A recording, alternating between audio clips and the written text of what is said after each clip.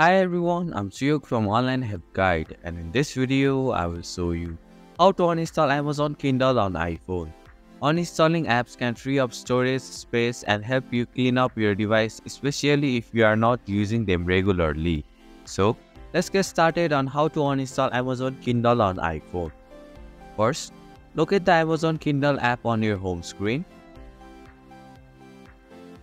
Tap the Amazon Kindle app and hold on to it until a menu appears. In the menu that appears, select the Remove App option.